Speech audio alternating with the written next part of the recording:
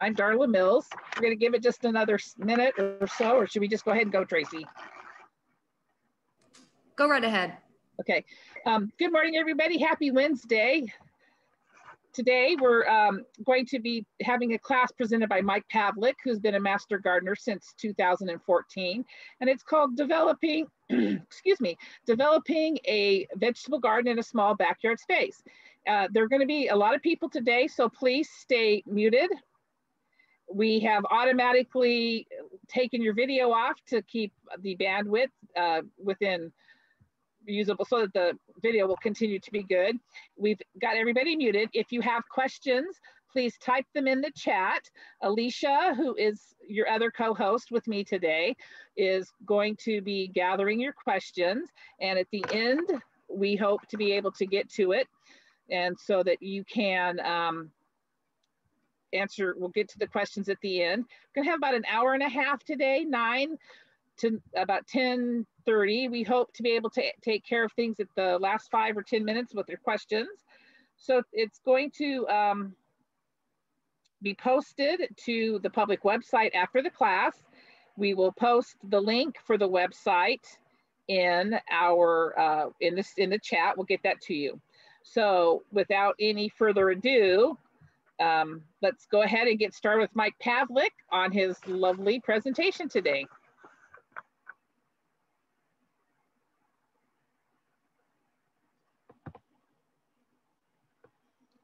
Mike, unmute yourself. Mike, it looks like you're still muted. There, how's that? There you go. All right, now we're gonna have these things popping up all the time, so we'll just take care of that right now. Uh, hopefully you've had your morning drink this morning, coffee, tea, or whatever, because we're gonna be moving through this fairly quickly to fit it into the time frame allotted. So this is a UCCE Master Gardener's presentation. Uh, go to the first page. Okay, we're, the class is developing a vegetable garden in a small backyard setting. That's me, Mike Pavlick. Okay, housekeeping. So we have, uh, the, we're El Dorado County Master Gardeners or volunteers trained by the University of California. Uh, 90 hours of training is what we receive from professors and, and master gardeners alike. Okay, the Master Gardener goal is educate our community about research-based horticulture. This class will be recorded and posted on our public website and social media. And we'll do a little housekeeping here. Okay, class objectives today. Uh, review your available space for your garden. Uh, plan and develop your garden. Review and planting options. Maximize harvest. Integrating edibles into your landscape.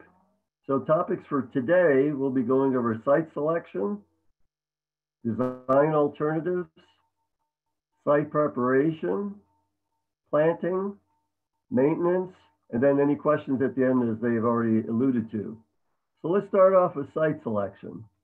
Okay, one of the main things, just like in real estate, location, location, location is important. Uh, you got to have the right place. And the right place is uh, east to west is the best exposure for your garden to line up. Uh, six to eight hours of sun shine, and maintenance here. Morgan, excuse me. I have to keep clearing this. Okay, six to eight hours of sunshine is optimal. If you have less than that, there is possibilities. Uh, easy accessibility to hose, outlet, tools, and etc. And this is part of this. Let me get rid of that. Okay, there we go. Uh, close proximity to your house. Because uh, the main thing about gardens, if you're going to have a garden, you're going to want to be using it daily. So as you prepare your meals, whether it's lettuce or, or carrots or whatever from your garden, tomatoes, you want to make sure it's close enough to you that you're going to use it on a daily basis. Uh, design alternatives. Okay, you got to set a budget. How much do you want to spend? As we know, gardeners can spend lots of money. And one of the key things is getting the most for your money. And that's what we hope to be able to tell you about today. Uh, you could go in the ground or, and this is, keep going here, in the ground or in the garden box. Yeah. Okay, so in the garden box, now wood, wood brick or sandbags. You can make your garden box out of just about anything that'll retain the soil. So that's what's key. Um, okay, beds, uh, three feet wide and one foot deep. Now this makes it easier to work from either side, but from one side, it makes it easy also because most people can reach across a three foot bed.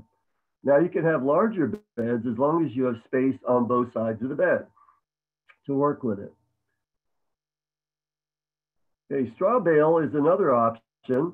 Uh, Joel Karsten wrote a book about uh, straw bale gardening. It takes about two weeks to condition the straw bales for you to be able to plant into them.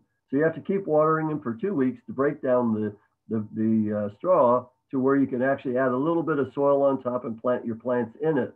It appears to work pretty good if you have the space and if you want to have that in your backyard. Uh, also, you can integrate some of your garden into your landscape. All right, take care of this. Now I'll show you one picture of how that's done right here. This is my side yard. And the plants that are right here are blueberry bushes. So I had a space, not a very big space, but I had a space where I could stick something and I stuck six blueberry plants in there, which do very well there, even though it's kind of a shaded location. They get quite a bit of sun and produce a lot of fruit. Okay, design alternatives, containers is another option. Uh, light color best pot is like is best because what we know is that when it gets hot up here in, in El Dorado County or wherever you're at close by, it gets hot. Those pots get hot. I had a temperature reading in a pot that I had last year of 104 degrees. Plants don't like that. They want to be cooler. Okay, clay, plastic, fiber, ceramic, the material is really not that relevant. The color is more important. Okay, must have drain hole. That's important. The water has to get out somehow. Otherwise, your plants will rot in there. Okay, sizes. For cucumber, you can need about a 24 inch pot. Uh, peppers, about an 18 inch pot will do fine. Tomatoes, if they're determinate, determinate means they only grow to about three feet and they produce a lot of fruit at that level. Indeterminate means they'll grow forever, as long as the soil conditions are right, and you're giving them lots of food and nutrients. I usually wind up topping my inter indeterminate tomatoes at about five feet because that's all the taller I want them to grow. Any taller than that, you got to put a ladder on it. Okay, zucchini, about a 24 inch pot.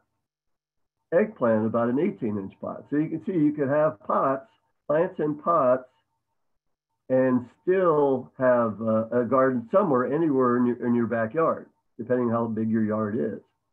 Okay, this was one option. I found this in Popular Science magazine. This is actually two two five gallon buckets. Could be whatever you get them from. And you set this up. And their main thing about this, they call it road ready because if you move, you can take the thing with you.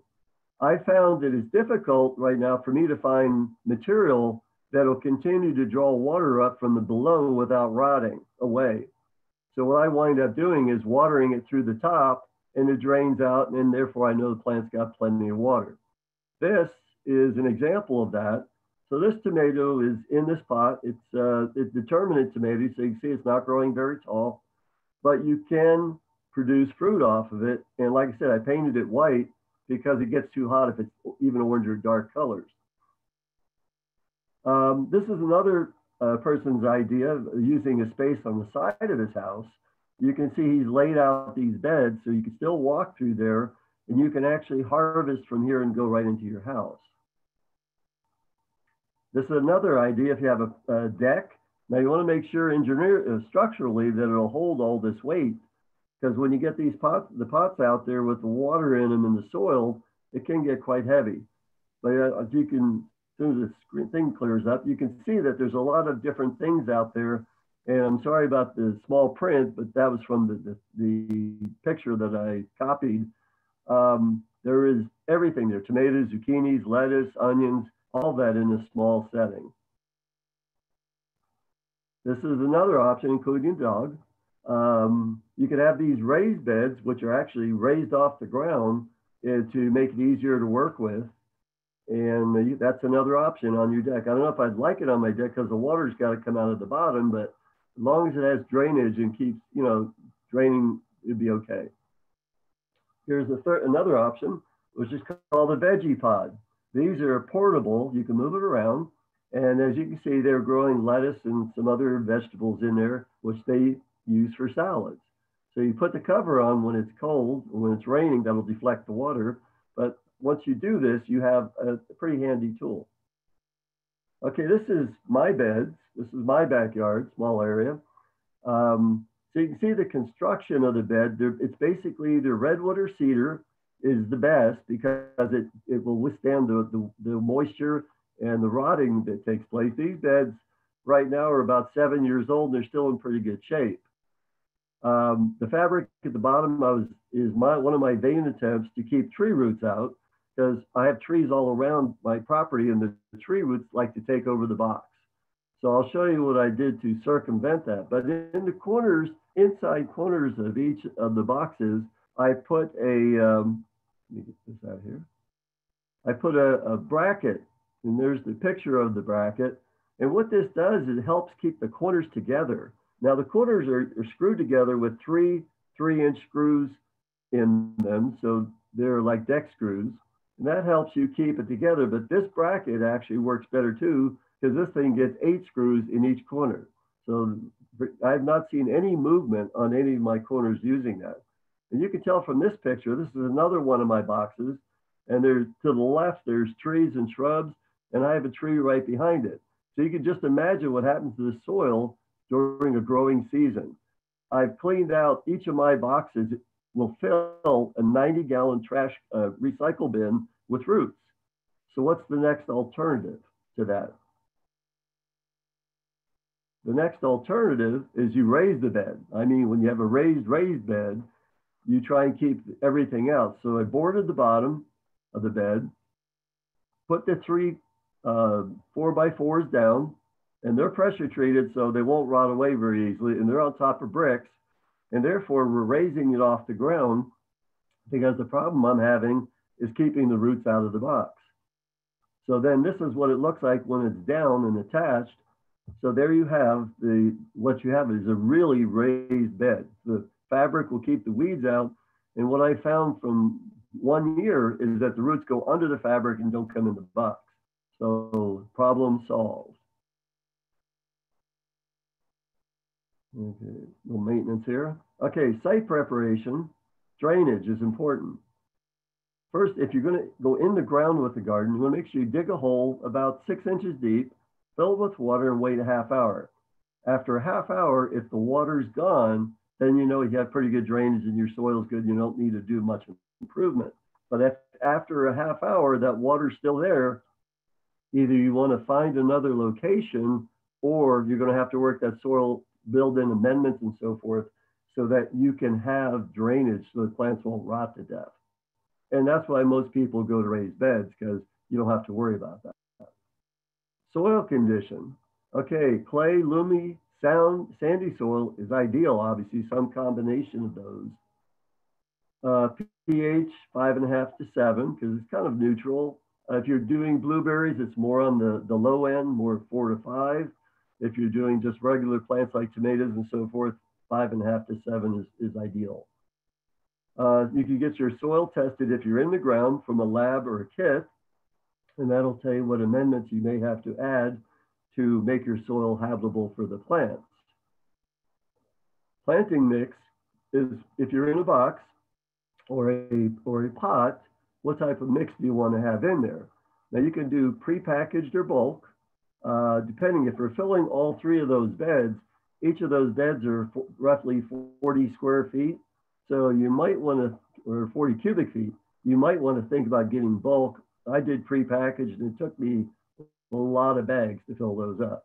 Now the ideal mix, according to UC Master Gardener, is one third peat moss, one third compost, and one third vermiculite.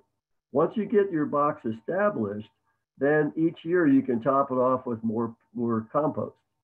And what I usually do is in the spring, early spring, like now, I put uh, two bags of, uh, of chicken manure on my beds so that the rain can help break it down. Because it takes about two weeks to kind of cool it off because chicken manure, steer manure, even the ones that you buy from the big box stores, uh, is pretty pretty strong. So you want to you want to make it let it sit for a while and let it cure and become more usable. Okay, the calculation for cubic feet is length times width times height. And then you want to change it to cubic yards. If you're going to order like a truckload or something, then it would be cubic feet divided by 27. So it would give you cubic yards. Like the my, one of bed, my one of my beds is 40 cubic feet, so that's a little bit more than a yard. So you can see how much soil we're talking about. Okay, amendments. Amendments are important if like you're in the if you're in the ground and you're trying to improve your soil. Okay, compost is a very good way of doing that. Either you can make your own compost or you can buy it either at a nursery or a big box store. Decomposed leaves, what I do is every fall, I go out with my uh, shredder vac and I pick up the leaves in the neighborhood. So I wind up with a big pile of, of shredded leaves, which I use to cover my beds in the winter. And then in the spring, I put another layer on. And then what happens is during the, the rains and everything, they kind of decompose and become soil. So that works out pretty good. Um, fertilization. Okay, you want to avoid heavy nitrogen. Even cucumbers and lettuce and all that do not like uh, heavy nitrogen. They want some nitrogen. But most vegetable plants are more low nitrogen, more potassium, more, more phosphorus because they're producing fruits and flowers and vegetables. Uh, manure, like I said, let it stand for two to three weeks. Hopefully it rains in between. If not, you should water it down. That would help it cure a little bit. And basically with adding compost to your, your box every year, you should have the right fertilization. So you need very little. I use uh, fish, fish fertilizer during the growing season. I'll do that once a month and it seems to work really well. Okay, watering options, water by hose bucket, uh, it's really how depending how far away you are from your water source. If you have a hose right there, you can use a hose or a bucket. What I found is, that those wands that you can buy at the big box stores, with my water pressure of about 45 psi, I get about five gallons per minute out of it. So it really depends on your water pressure. The best way, and the obviously the less work intensive way, is oh, go back. Uh, is to use a drip or soaker hose. Now in my boxes, I've connected it to my uh, main valve watering system, and each of them has four drip lines in it. They're the inline drippers, and they cover the length of the box. So what I've learned over the years is that you're really not watering the plant, you're watering the soil. The plant will find the water if you put it in the soil for it. So I run two of the lines fairly close to the plants I put in the ground, and two lines out about a foot or so so that they can go get that. And they will do that. They'll go out and get it, and plants do very well. Okay, okay planting. Okay, last freeze date. Uh, the planting guide that the master gardeners sell, which we don't have for sale today because we're remote, you probably get one at the office though, tells you what date to plant either seeds or plants for each different vegetable in spring and fall. And what we know is that in El Dorado Hills, which is where I live, the last frost is April 15th. If you're in Placerville or higher, then your last frost date is probably going to be Mother's Day, so May. But you know, you want to make sure you keep an eye on that because you can put plants out early. I've put plants out in March before, but in order to do that, you have to provide protection from the cold. One way of doing that is either row covers or walls of water. Walls of water is a set of plastic tubes that they're in a circle. You fill them with water. During the day, the sun warms up the water. At night, the plant stays warm and it closes pretty much around the top. And what I found is you can, I can put tomato plants out in March. If I put the walls of water around them, I gotta do a little maintenance here. Uh, waters the walls of water around them, and then by the time it gets warm enough, you take it away, and the plants are already about a foot tall already. There it goes. All right, plant selection. This is important. You know, what you want to grow is what you want to eat. You probably don't want to, unless you grow stuff to give away, which we do also. You know, there's a program called uh, Grow a Row for, for the food bank, and you can do that. And so make sure you're growing what you want to eat. Uh, Master Gardener plant sales coming up April 17th. If you haven't got your seeds or plants yet, uh, they don't sell seeds, but they do sell plants. So if you want to take that route, it's April 17th at the demonstration garden. And uh, there'll be more information on that coming out in the coming weeks. But that's a good place to buy all your plants, perennials, annuals, vegetable plants. They're all for sale there, and they're for a good cause. Okay, now we'll talk about perennial versus annual plants. Um, this is important because if you plant a perennial plant in your in your garden bed, it's there for a long time 10 years, 15 years. That could be like either berries, raspberries, blackberries, blueberries, artichokes, asparagus. They're going to take up that spot for a long time and you won't be able to use it for anything else. Uh, what we usually do is the annual plants like lettuce, tomatoes, cucumbers, cantaloupes, melons, any of those things which grow one season and they're out. So now you can grow other things in that box. Plus, the other thing is in a box, you have a lot of room, in, which is different than in the ground because you have a square area. And so you could put tomatoes and lettuce in the same box or tomatoes and peppers in the same box because there's plenty of room to do that. So, you know, you have to make the decision who, what's going in the box. Now that one section where I planted the blueberries, that's permanent. I'm not putting anything else there. But in my beds, I, I would rather not do that. Now, some asparagus is a good thing, but like I said, those will be around for 20 years. Okay, now we're going to talk about start from seed or buy plants. Uh, seeds require time and patience. It's like a nursery. Basically, is you have to have space for a nursery. There's different ways of doing starting from seed. Uh, if you go to the stores, you'll see that they have the trays that you can put your seeds into in your soil, and then they sell a heating mat underneath. Some people put their seed trays, the, the trays up on top of the refrigerator, because if you ever felt the top of your refrigerator, it's warm up there. But uh, if you can't, then you need it like a set of grow lights and a, and a warming mat. I've got a little different approach to that, and I'll show you that in a few minutes. Well, if you're going to buy plants, make sure you buy good quality plants. Now we've seen tomato plants that are about, you know, two feet tall and really spindly looking. You can still use those, but the trick is you got to plant them deeper so that there's only about three or four inches of the plant showing off the top of the surface. So the ideal thing is to find tomato plants that are about four to five inches tall, ideally. Uh, same thing for others like cucumbers and so forth. Okay, microgreens is a little different feature. Uh, I don't know if anybody's ever tried this. This is for indoor gardening, actually. It's the fastest crop you will grow. Uh, it grows indoors on a shelf or somewhere where there's some sunlight. And what you're doing is you're basically planting seeds of different types of plants, either vegetables or flowers, and you're, you're harvesting the leaves within weeks. In other words, it's not going to be an all season thing. You do this like every two to three weeks. So you harvest the leaves when they're one to half, one and a half inches tall. And people use those in your salad. So, you know, it's like a little different thing. Some people say they have a very good flavor. I've not tried it, but I've heard good things about it. Uh, you can do, like, say, vegetables, herbs, and flowers. And you harvest with scissors just above the soil line. Now, that's one crop. Once you cut it, it's not going to leaf out anymore. And I'll show you a picture here. So this is kind of the tray that people use. And you can see that the, the seeds has rooted and they've grown to about an inch or inch and a half uh, high. And the bottom picture shows, you know, a bunch of leaves. So what you want to do is cut those leaves off and you can use those in your salad. It's just a different technique. Here's an interesting thing. I found this in one of the catalogs.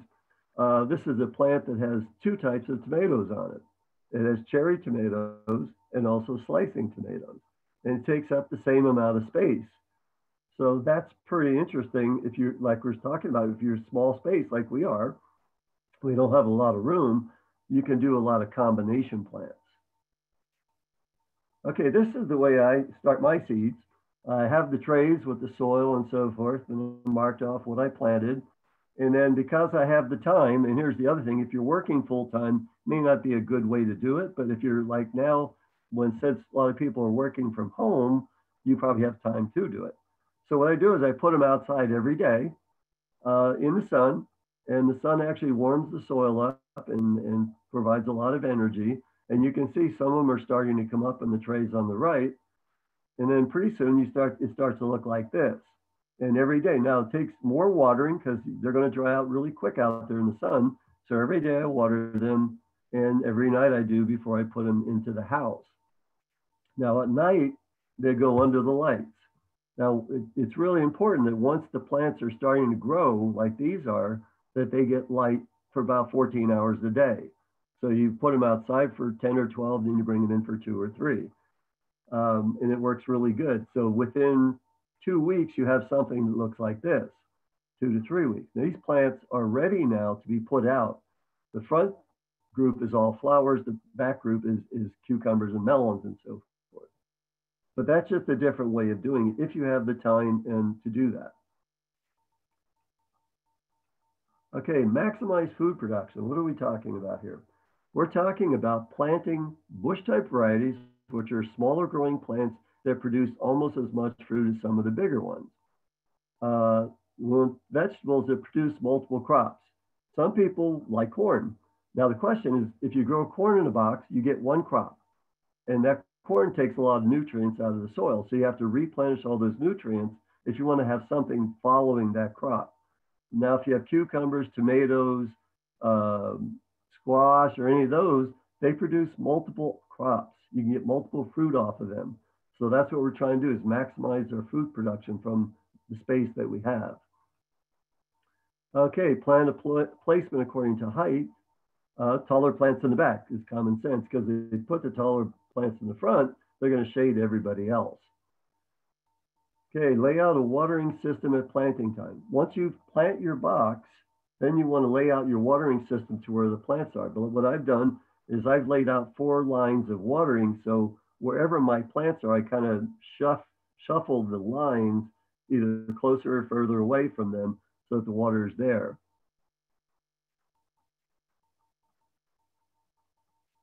Okay, this is uh, just as a recommendation, one of the tomato varieties that I've grown the last several years. It's a 2017 uh, AAS award winner described as an 18 inch determinate plant that produces 100 tomatoes per year per plant. Uh, what you can see is that three plants I've had in 2017 were about 24 to 52 inches tall, and they picked 2,500 tomatoes off of them.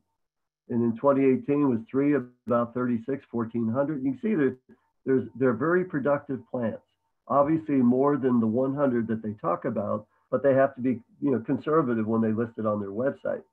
So I found these at Totally Tomatoes. I'm sure there's some other sites that have them, but they're, they're, they're a neat plant. They only grow about um, 36 to 40 inches tall, and they produce hundreds, actually maybe thousands, hundreds of tomato of tomatoes.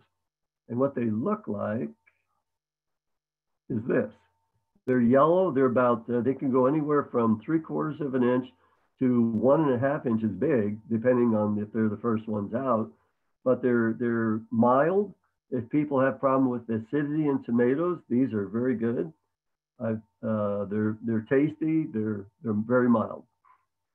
And this is, okay, the plant, two plants on either end of this box are that, that tomato, that, that uh, patio type. And you can see they're only about three feet tall, so you don't need a lot of caging, and they'll produce all summer long. The two in the middle are indeterminate tomatoes that I've cropped at about five feet. So you have to do that or else, you know, you're gonna have 20 foot tall plants. But that's in essence a layout that you could have. You could have four tomato plants in one, this is a 12 foot box and they, they're doing just fine. Okay, this is another type of tomato. It's called Sugar Rush, and it produces thousands of these little, uh, they're probably about uh, three quarters to an inch, and they're very crunchy and very tasty. And you can even do artwork with them. So this is tomato art.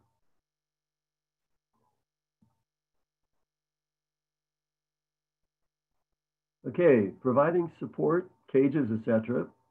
Uh, construction wire cages, uh, they have six inch holes spacing and right now, I'm having trouble finding them other than in 150 foot rolls. But uh, one time I was able to find them in a 50 foot roll and I was able to construct some cages out of them. So finding them is, is a key thing. You can get, they, they sell them at the box stores, but they're only about four feet tall. Five feet is actually ideal.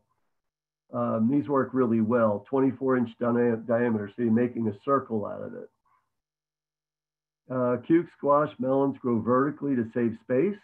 We try and do vertical as much as possible because we're not, we're space restricted. So any of these things will grow up and I'll show you a picture of that coming up here fairly soon. Okay, Square Foot Garden, Mel Bartholomew uh, wrote a book. It's an intensive gardening method. Sometimes people say it was developed in Europe. And what they do is they take a square foot of gardening space and they grow multiple types of vegetables in that square foot. So you could have, and you have to be careful. You can't do it. You can do a small tomato plant, but not a big one. And the small one will probably take up the whole square foot. But let's say you planted carrots and, and maybe uh, lettuce or something in that square foot. That's what you're doing. So you're maximizing each square foot of your garden.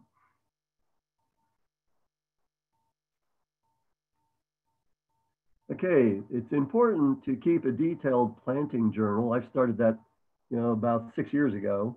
And what it tells you is what worked and what didn't. You know, everything's not going to run smoothly all the time. There's going to be problems. You're going to run into situations. So you want to make sure you journal all that so you know what, what worked and what didn't and what, what you can maybe change for next year. Also, what was planted where in a small garden, like we're talking a small space garden, it's almost impossible to do a lot of rotation.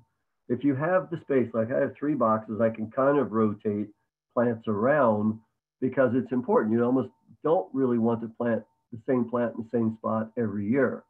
Now you can get away with that if you prepare the soil right by doing a lot of nutrients, building back in, putting a lot of compost in, you can overcome some of that sometimes you wind up a, a pest that will come back because you've done something in the one space more than once.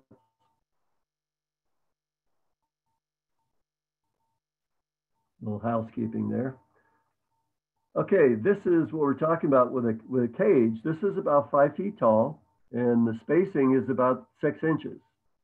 So that gives you plenty of room to uh, put the, as the plant grows, you keep moving it inside the cage because it'll want to come outside and then it gives you room to stick your arms in there and harvest.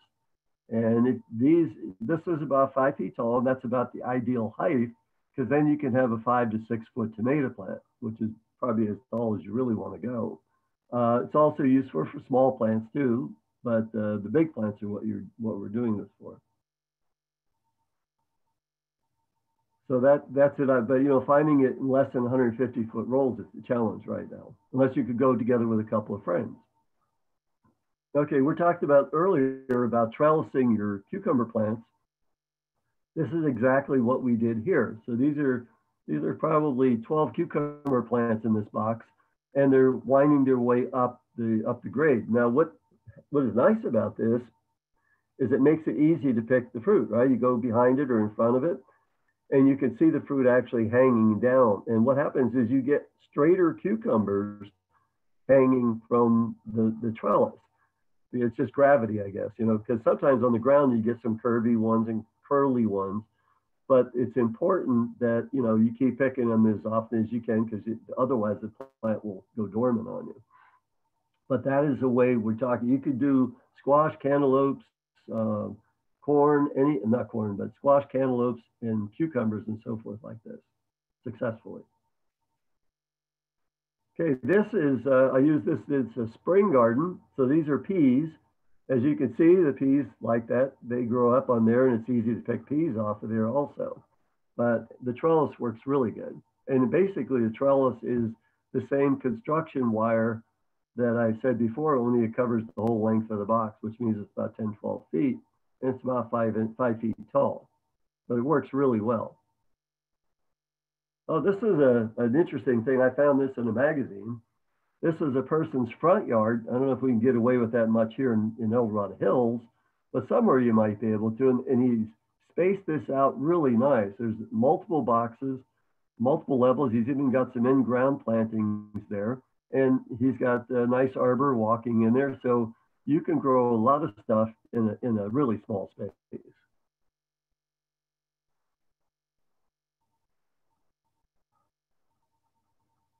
I'm going along pretty quick here. Um, okay, maintenance. uh, check irrigation system regularly.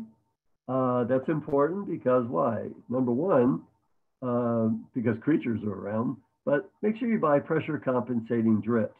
Now what they do is no matter what the water pressure is, if it's a one gallon dripper, it's going to give you one gallon. If you don't buy pressure compensating drips, if you have a one a pressure surge or a pressure lag, then you're going to get either less or more than one gallon. They're a little bit more expensive, but they're worth the price. Okay, drips will sometimes fail. We know that, right? Uh, animals like to chew on the hoses. Uh, other things happen. They get clogged. They they actually actually had some just outright fail. They stop, or they what they do is the water comes out in one straight stream stream instead of a drip, and then you have to replace them. So, but animals do like you know you get squirrels, you get rats. They think it's a good water source. Okay, keep weeds out of your beds, right? You use plant and food and water. So it's easy to weed beds because obviously if you're out there every day looking at it, you see a weed pop up, you just pull it and you lay it on top and it'll decompose and become part of your soil. But yes, you want to make sure that it doesn't get overgrown with weeds because it's, it's, tough enough for the plants to survive without that extra uh, thing. Okay, mulch plants keep soil cool and moist. It's very important to do this in the summer here because it gets 100 degrees out and you want to keep that soil, soil temperature down. Plus, it, it conserves some of your moisture. Uh, you can use various materials, um, grass, straw, and uh, the important thing is it keeps weeds from germinating and keeps, and, you know, it just makes everything look better. Uh, you want to do about three inches thick because we know that this stuff will break down over the year.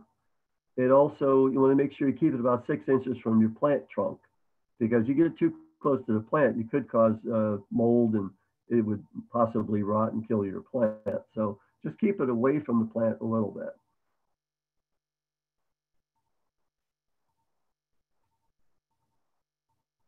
Okay, protect plants and wildlife.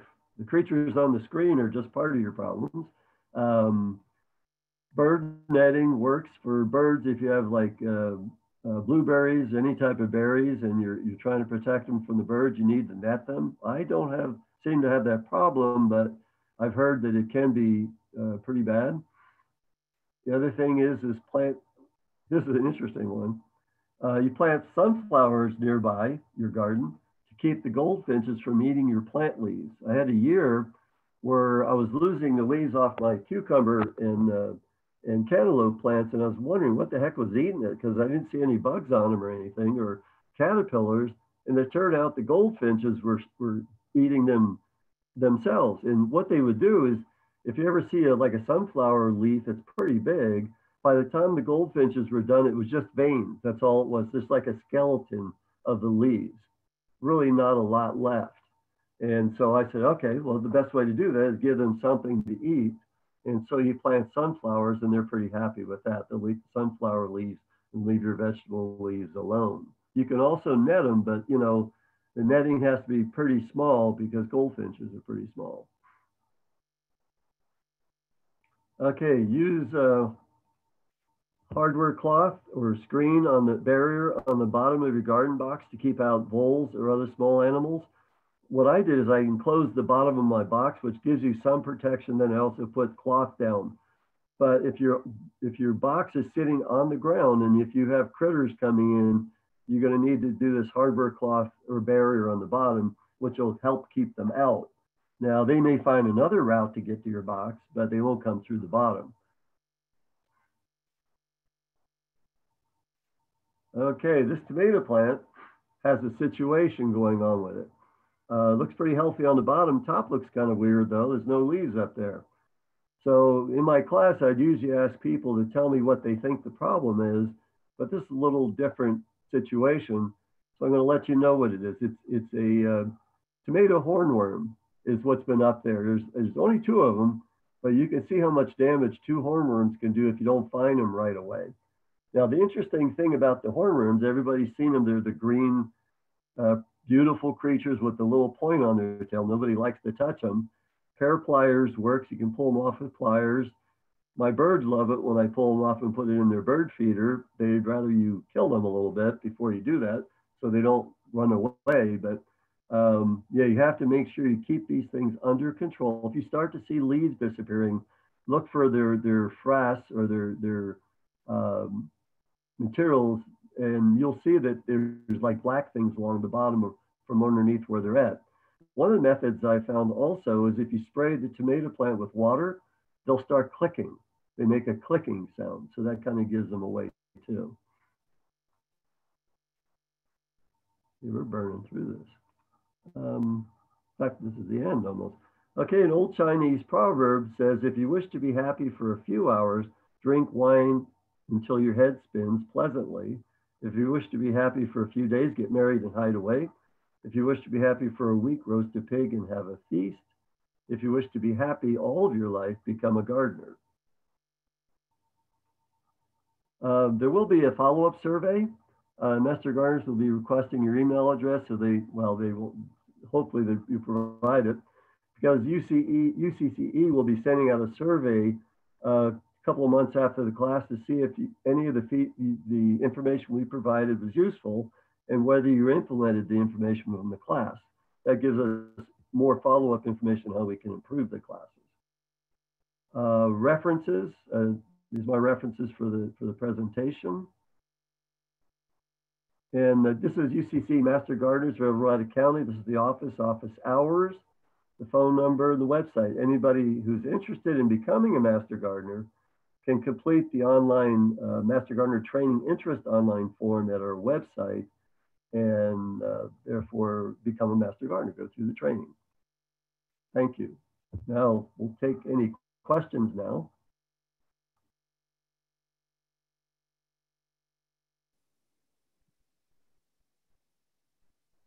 Okay, here's the questions that I got for you, Mike. Uh, can we get copies of the slides? Uh, For everybody's, I'll, I'll broach that one, sorry. For that Okay. one, the presentation information will be available online shortly after this class is done. And here's the link for everybody again as well in the chat. And next question. I have a concrete base. If I build a box, what should I use for the bottom? So you're building a box on a concrete patio or something like that is what I'm understanding? I don't have more context. That's all that I got out of chat. Okay, so if you're if you're building on a, on a patio, uh, you really don't need to put a bottom on it. Uh, you'll have water draining out, and probably at first, when you first fill your box, you'll have uh, uh, water, dirty water coming out from the soil. Eventually, that'll cease, but you'll still have water dripping out. So you just have to be sure that it's okay that the water's there. You know, depending where in the middle of your patio or off the end. But a concrete base works fine long as you have a box that is about a foot deep, because that gives the plants a lot of room to uh, spread their roots out. Thank you. What kind of leaf vacuum do you use, Mike? Uh, well, my leaf vacuum is about 30 years old. I bought it from Sears at the time. I know they still sell them. It's it's a it's a like a chipper shredder mulch vacuum, uh, which works really sweet. Uh, um, I've seen it before because you can actually uh, chip a two-inch branch in it, and it, it's like a vacuum. You just run it over the leaves. It sucks them up in the front, shreds them, puts them in the bag, and you empty the bag into a wheelbarrow as you go along, and you can collect a lot of leaves and it works really, really well. And I use mine a lot. Sounds like an excellent tool to have for sure. Oh, it is, yes. Um, here's one. Could Mike talk a bit more about using pressure treated wood for raised garden beds? I know he was just using it as a spacer. I've heard cautions about not using it in garden beds. Please advise. Yes, uh, definitely you don't want to use it as part of your box. What I did is I used pressure treated four by fours under my box. You notice I had a, a wood bottom, so there's a separation between my box and the actual pressure treated wood. The only reason I used it there is because those will last a long time. You don't want to use that material for your box though, because it would leach into your garden. Excellent advice. What are walls of water? Walls of water, um, you go to any of the any of the stores, nurseries, big box stores, you'll see that they're about um, about a foot tall, and they're a series of tubes. The tubes have an opening, uh, I'd say about an inch or two, and what you do is you pour water into each of the tubes that surrounds the walls of water, and then you put this around your your plants, around your tomato plants, whatever you have, and like I said, during the day the sun warms up the water and at night, it keeps the plants warm. It could be freezing out, but the, the plants inside the walls of water are probably 20 degrees warmer. And they're pretty inexpensive and they last a long time. Uh, for succession gardening, would you plant seeds about every three weeks? Uh, I would go by the planting guide. Uh, it depends what you're planting. If you're planting like lettuce and stuff and you want a succession of more lettuce, that's probably a good good time element because lettuce comes up pretty quickly and it uh, comes to harvest pretty quickly. So yeah, something like that. Uh, some people will do that with zucchini even. You know, they'll they'll plant zucchini and then maybe a month down the road they plant some more so that you keep going into deep into fall. Sometimes zucchini plants will stop, you know, uh, late summer and you want more of it coming. So yeah, you can do succession planting three weeks seems a little close depending on what you're doing. But if it's a small crop that's quick, like radishes or, or uh, carrots or any of those things, then that would probably be okay. But anything bigger than that, I would space a little bit further apart, probably a month. Okay. Um, what would you recommend as the best supports for vertically growing cucumbers, squash, or melons? Uh, well, I like the construction wire, uh, but there's trellises you can use. Um, anything that's, that's strong, like wood or, or metal trellis. And it really, you know, what I support that with, because my box is no longer on the ground, so my stakes don't go to the ground, they go to the bottom of my box. I had to go ahead and screw uh, two by twos onto the side of my box to be able to hold up the, uh, the, the trellis itself. So I support it between the, the two by twos and the fence, and that seems to work really good. The, the construction wire to me is the best. Any type of um, netting or, or, fencing like that, uh, metal would probably work just as good. And um, looks like this might be the last one here. Would you put one head of cabbage or one zucchini plant in a five gallon pot? Um, yes, I would say so. You know, in my presentation, I listed sizes of pots for different plants. Uh, you can definitely grow a head of cabbage or, or uh, what was it, zucchini you said? Uh, yeah. Yeah, you definitely could grow that in, inside of a five gallon pot, yes. Now, it, the setup, as you noticed in my presentation, was two five gallon pots. One, the top one has the soil in it with the holes in the bottom for, and for the material to go through to bring up the water from the one below. The one below acts like a reservoir that you just fill up and you can tell when it gets full because the water will come out the hole on the side. And that keeps your plants well watered during the year until the material uh, disintegrates, then you got to water them from the top. Okay, and then I've got one more question just came up. Um, for the containers you're mentioning, are the 18 to 24 measures uh, depth or width? It's the width. The, the width? width? Usually, if you get an 18 inch wide pot, it'll be pretty deep because those are pretty good sized pots. So, yeah, it's the width of the pot we're talking about. Okay. And what combination of soil or amendment is best for container gardening?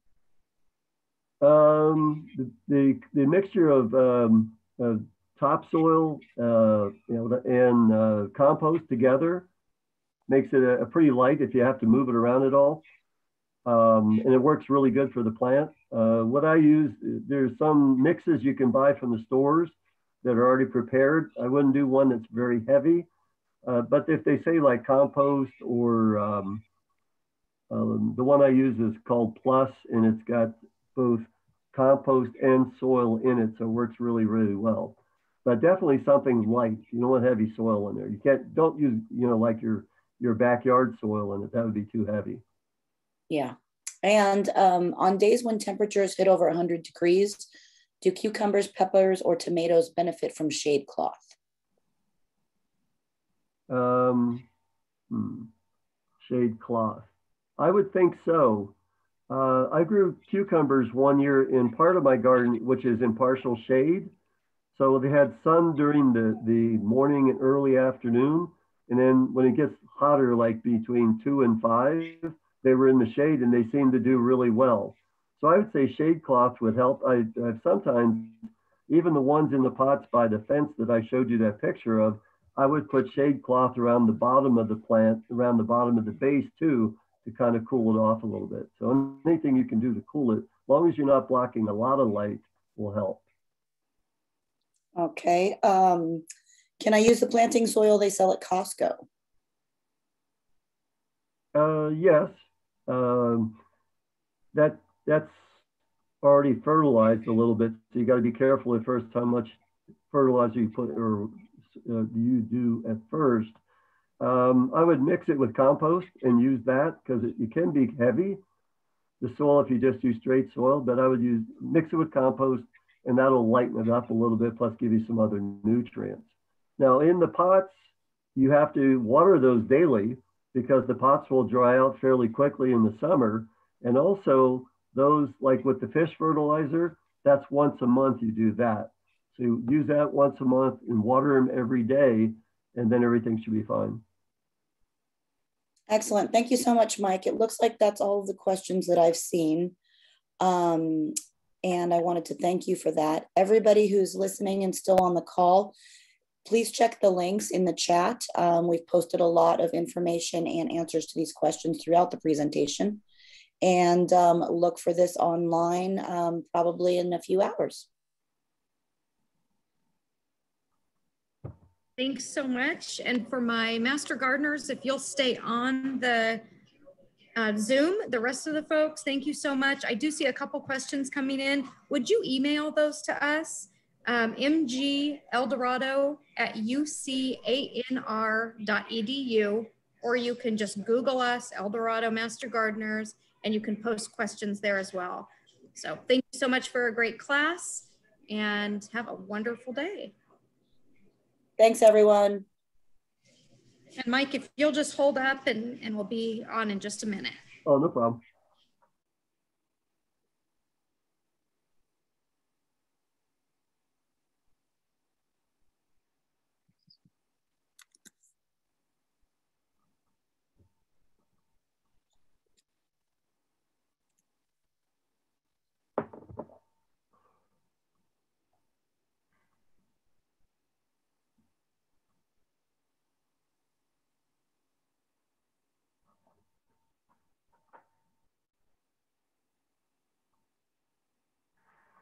That what I see? We have 81 questions?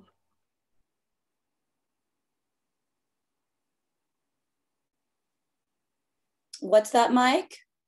I see in the chat box there's 81. Oh, I think that's just total chats. That's responses and everything. Oh, is it? Yeah. Alicia, read read Mike the comment that came from oh, who was it?